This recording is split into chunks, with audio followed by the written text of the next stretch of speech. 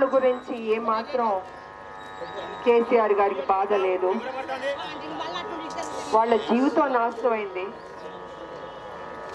ఈ ఐదేళ్ళు ఈ ఐదు రోజులు మరి ఇంత పెద్ద సంఘటన జరుగుతుంటే విద్యార్థులు చనిపోతుంటే ధర్నాలు చేస్తుంటే వాటి గురించి ఏం మాట్లాడకుండా తమరు కాంగ్రెస్లో ఎమ్మెల్యేలు కొనడానికి బిజీగా ఉండిపోయినట్టున్నారు.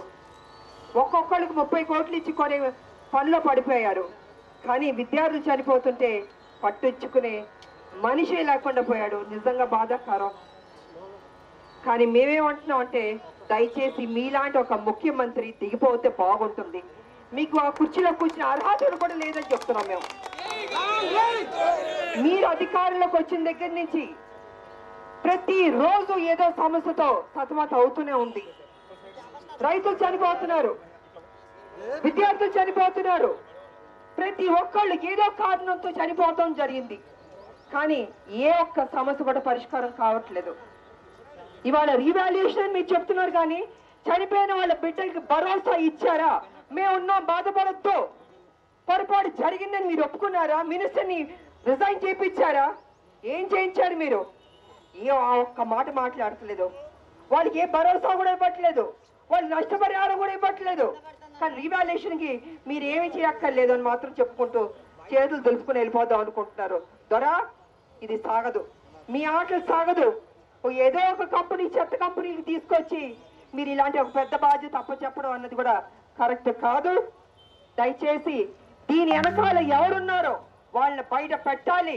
వాళ్ళని బొక్కలో పెట్టాలి. వాళ్ళని అరెస్ట్ చేయాలని కూడా ఈ సందర్భాన్ని తెలియజేసుకుంటున్నాను నేను. అందుకే మేము రాజకీయం చేయడానికి రాలేదు. కానీ మీరేం చేస్తారు? అని మేము అడగడానికి వచ్చాం. చనిపోయిన విద్యార్థులకు నష్టపరిహారం ఇస్తారా? వాళ్ళ కుటుంబాన్ని ఆదుకుంటారా? అని కూడా మేము మిమ్మల్ని డిమాండ్ చేస్తున్నాం.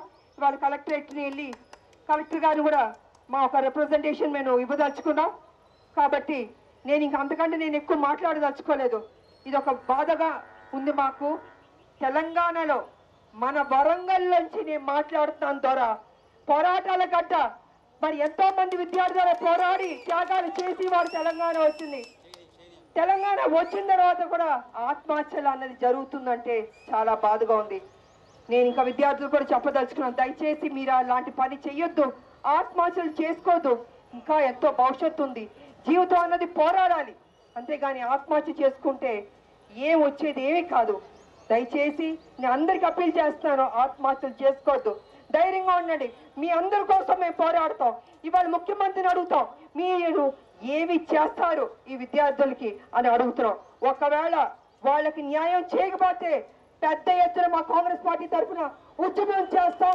మీ యొక్క క్యాంప్ ఆఫీస్ వచ్చి ముట్టడిస్తామని కూడా తెలియజేసుకుంటూ చాలా తీసుకుంటున్నాం.